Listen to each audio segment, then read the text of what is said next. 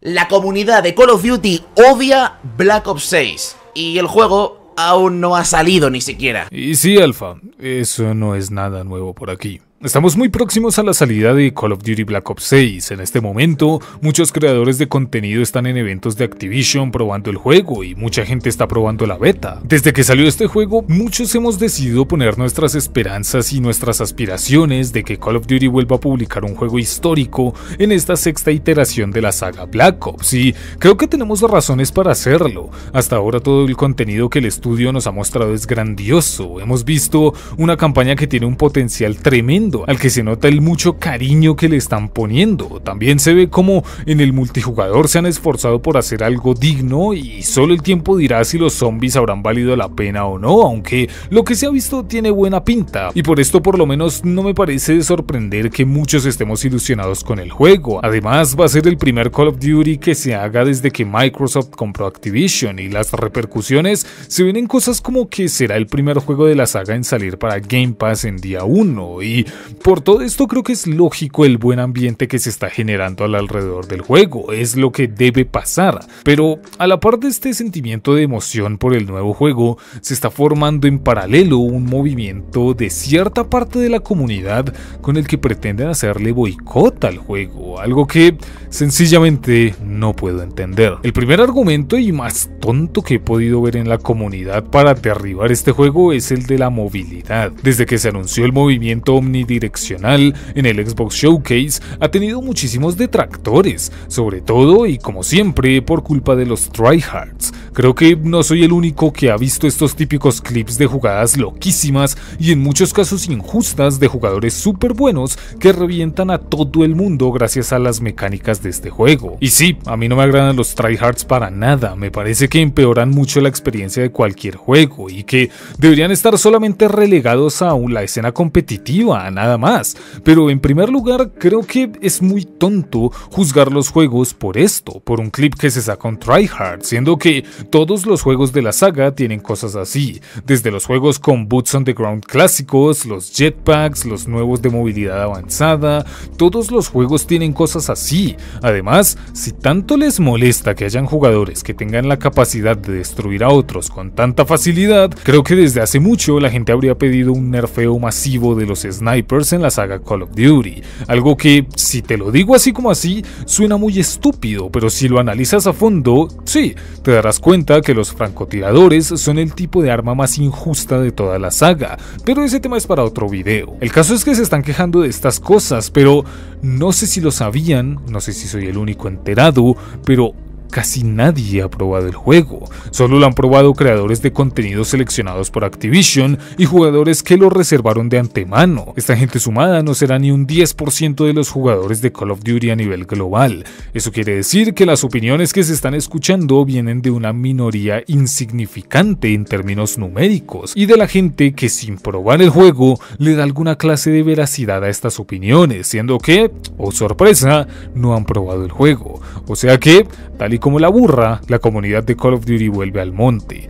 Están criticando un juego que no han probado. Y con esto me pregunto, ¿en serio la comunidad de Call of Duty no tiene criterio en absoluto? ¿En serio son tan manipulables y tan estúpidos? No sé por qué lo pregunto, si creo que todos sabemos que es verdad. Miren, quisiera no darle mucha bola a esa gente, pero es un tema que tenemos que hablar sí o sí, porque es algo reiterativo a lo largo de la historia de esta franquicia. Cuando salió la primera movilidad avanzada en Advanced Warfare, la gente se quejó muchísimo, pero luego la movilidad de Black Ops 3 se volvió el estándar de la saga. Mismo caso con Modern Warfare de 2019, cuya movilidad fue resistida y sí, mucha gente se quejó de cosas como el slide cancel, que sí, es una mecánica que los tryhards explotaron, pero otra vez la movilidad del Modern Warfare de 2019 se volvió estándar. Y no lo sé, no lo he probado, los mortales tendremos que esperar una semana más para probar la beta, y eso sí puedo probarlo, pero ¿qué tal si esta nueva movilidad de Black Ops 6 se vuelve otra vez el estándar de los juegos.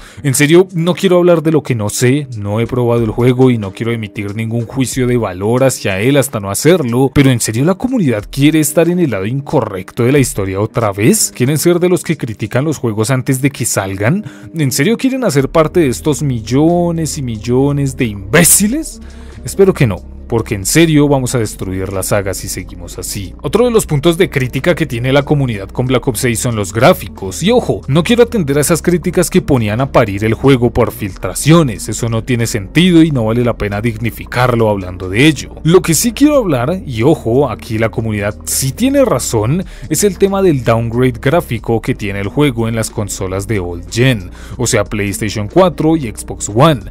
Y a ver, esta vez la burra que vuelve al monte es Activision. Esto es una situación que ya vivimos en 2015 con el horroroso Black Ops 3 de old gen, juego que más que evidentemente sí se podía correr a gráficos máximos en una PlayStation 4 o una Xbox 360. Estamos hablando de que una Play 3, que era probablemente la consola más débil a nivel técnico de esa generación, podía correr el puto de Last of Us. Es completamente imposible que no aguantara los gráficos de Call of Duty. Mismo caso el de ahora, o sea, esta nueva generación corre el puto Red Dead Redemption 2 y me vas a decir que no puede aguantar un Black Ops 6? Es ridículo. Esto no es más que una táctica, y ojo, no de Activision, sino de Sony y de Microsoft para intentar aumentar las ventas de las nuevas consolas. Y dentro de que estamos hablando de empresas, esta me parece una táctica de lo más sucia y deplorable y solo deja en mal lugar a las empresas. Y oye, eso sí, cualquier crítica que se le haga a Activision, a Sony y especialmente a Microsoft por cosas como esta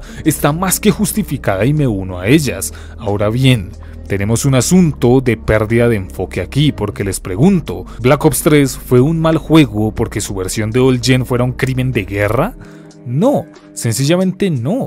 En muchas cosas Black Ops 3 sigue siendo el mejor Call of Duty de todos los tiempos y no digo que vaya a pasar lo mismo con Black Ops 6, pero lo que no es más que una táctica de marketing no puede afectar al juego como tal. La calidad del juego es independiente a ello. Para esto les pongo un ejemplo. No sé si hayan escuchado sobre los casos de explotación laboral que se dieron tanto en Naughty Dog como en Rockstar cuando salieron Red Dead Redemption 2 y The Last of Us 2. Se reportó como trabajadores estaban estaban siendo llevados al límite para cumplir con los tiempos de entrega. Estamos hablando de una situación inmoral que atenta contra la integridad de algunos desarrolladores, pero eso no afecta a la calidad de los productos. No quiero meterme en este tema tan pantanoso, algún día a lo mejor lo cubro, pero quédense con que estas polémicas, sí, está muy bien que se comenten y como digo, tenemos que masacrar a las empresas que entren en estas prácticas, pero la calidad de los productos y nuestro juicio sobre la misma debe mantenerse alejado de eso,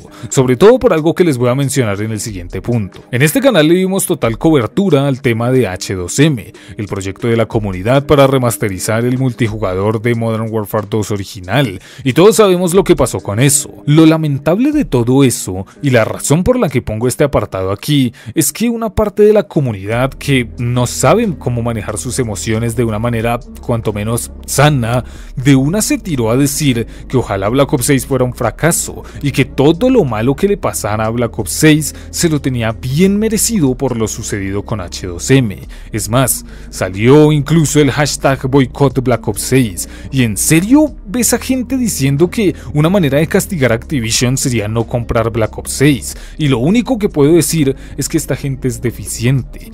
En serio y realmente creo que estamos hablando de gente deficiente mentalmente y no tiene idea de por dónde le pega el viento. Como dije en su momento, si de verdad quieres hacerle daño a Activision, impulsa un hashtag que busque vaciar tanto los servidores de Warzone como los de COD Mobile por completo, dejar los juegos vacíos y sobre todo que nadie nunca jamás vuelva a comprar nada en ninguna tienda de Call of Duty. Nada, nunca, ni una skin, ni un pase de batalla, nada. Eso sí sería un verdadero golpe para Activision. Les estaríamos dando donde más les duele, en la cartera en el dinero. Si alguien se cree en serio que dejando de comprar Black Ops 6 va a mandar un mensaje a Activision, está totalmente equivocado. O no, peor, sí que le vamos a mandar un mensaje a Activision. Si Black Ops 6 fracasa, Reitero que no he podido jugar al juego, pero si Black Ops 6 fracasa, será el último clavo en el ataúd de Call of Duty tal y como lo conocemos, porque mientras haya gente jugando Warzone, le mandaríamos a Activision el mensaje de que ya no nos interesan los buenos juegos. No comprar Black Ops 6 solo se puede traducir como que ya no nos interesan los juegos con una campaña interesante, ya no nos interesan los juegos que intenten innovar aunque sea un poco en su multijugador, y que no nos interesa una mierda el modo zombie. Eso sería lo único que conseguiríamos boicoteando Black Ops 6, siempre y cuando haya gente comprando cosas en Warzone, repito, pero como dije, eso es tema de otro video. Lo más importante aquí es que la gente no se para ni un segundo a pensar en que, más allá de cualquier acto reprochable que pueda hacer Microsoft y Activision, hay un estudio que se llama Treyarch, lleno de desarrolladores que sí, ya no son ni David Wonderhart ni Jason Blundell, pero eso no quiere decir que no estén dando su máximo para entregarnos el mejor juego que puedan hacer. Imagínense ser esos desarrolladores que con verdadero cariño están trabajando para dar un juego de calidad y ver que hay unos inadaptados en redes sociales que quieren boicotear un juego que ni siquiera ha salido solo porque Activision canceló un proyecto de la comunidad. Es un panorama desolador y que nos deja muy mal parados como comunidad. Lo que tenemos que hacer es entender que una cosa es Activision y sus terribles decisiones y otras son los estudios que todavía intentan darnos algo de calidad. Y créanme que el no valorar esos esfuerzos es darnos un tiro en el pie como comunidad. El último punto que quiero abordar hoy, y este tiene que ser el más absurdo de todos, es que Black Ops 6 es igual a Black Ops Cold War o es Black Ops Cold War con una skin, con los gráficos un poquito mejor. Y la respuesta clara es sí, lo es. Call of Duty ha sido así toda la vida. No sé si alguien se dio cuenta, pero la diferencia entre los tres primeros juegos de la saga no existe. La diferencia entre el Modern Warfare original y el segundo Modern Warfare, pues hablo de la trilogía antigua, Sí, existe, pero no deja de ser una mejora de gráficos. Pero ahora, si buscas la diferencia entre el Warfare 2 original y el Warfare 3 original, te deseo buena suerte porque no vas a encontrar una mierda, ni una diferencia, ni la más mínima, aparte de ese filtro gris horroroso que hay en Warfare 3. Ahora, en la saga Black Ops sí que ha habido cambios. Y mira, creo que es la primera vez que utilizaré Alpha Sniper como una referencia positiva. El hate que está cayendo, yo creo que es por el título. La gente, cuando ve Black Ops 6 se espera algo nuevo, algo diferente, algo que sea distinto dentro de la saga de Black Ops, como por ejemplo lo fue el Black Ops 2 con respecto a Black Ops 1, que no tenía nada que ver, o el Black Ops 3 con respecto al Black Ops 2, que no tenía nada que ver, o el Black Ops 4 con respecto a Black Ops 3, que tampoco tenía nada que ver. Como hay cambio de número, yo creo que la gente se piensa que es un cambio grande en el propio juego en sí mismo, y la realidad es que no es tanto así, excepto por el movimiento. ¿Dónde está el problema? El problema es que Activision ha hecho el lío, ¿vale? Esto los que seguís el canal lo sabéis de sobra porque os informé desde el día 1 de lo que nos estaban colando, y es que Black Ops 6 no iba a ser un Black Ops 6, os recuerdo que iba a ser un Call of Duty Black Ops Wolf War, la continuación del Cold War. El formato de título era el mismo. Si hubiesen puesto Wolf War, yo creo que la gente no le chocaría tanto que el juego sea tan similar al Cold War, que en sí mismo no es algo malo, pero bueno. Como dijo Alpha, creo que la gente se está volviendo loca porque les prometieron un Gulf War, o al menos eso es lo que se estaba filtrando, y se encontraron con un Black Ops 6. Y mira que aquí sí les puedo dar la razón en algo, pero también se la tengo que dar a los desarrolladores. Si vamos un poco a la historia de esta saga, el primer juego se llama World at War, Mundo en Guerra, lo cual es lógico porque es un juego con temática de Segunda Guerra Mundial.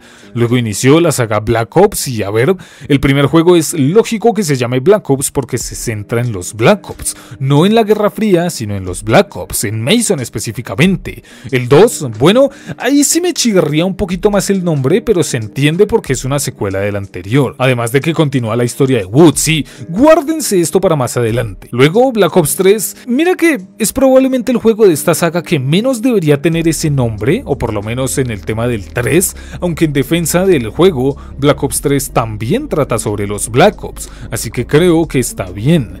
Black Ops 4 es simplemente una precuela del 3, así que creo que puede tener sentido, es como Five Nights at Freddy's 2, que es una precuela del 1, así que creo que funciona. Luego vino Cold War, que ojo, es perfectamente comprensible y diría que es lo correcto que se llame Cold War, porque ahora el tema central sí es la Guerra Fría, más que nunca.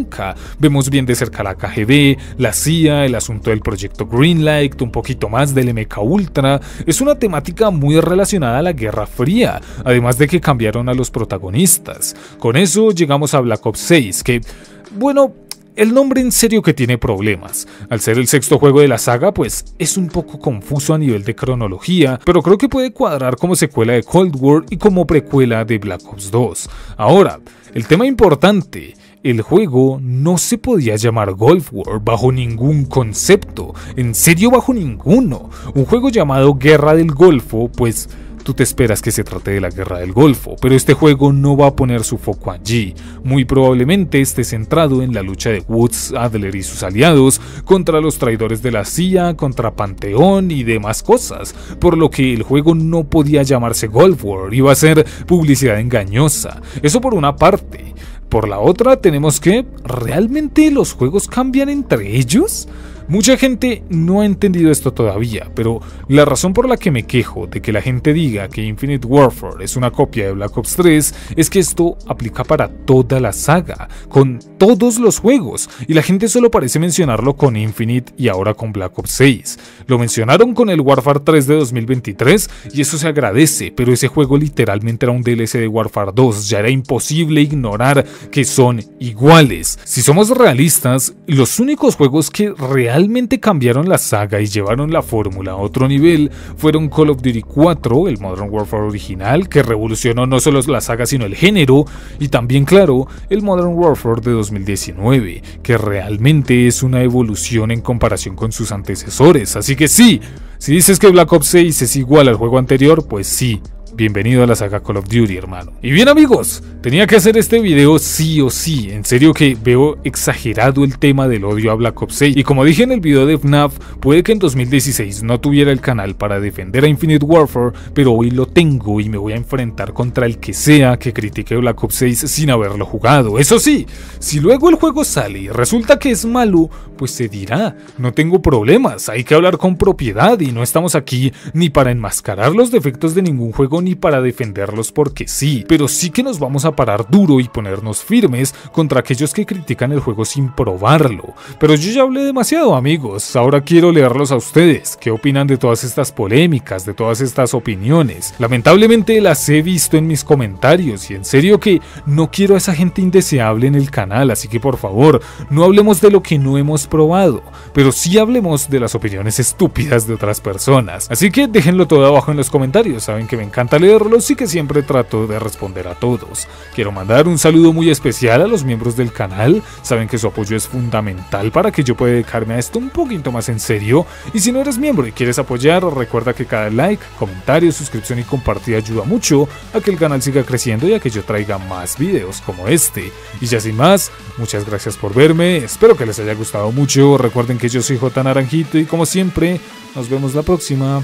Adiós. Thank you.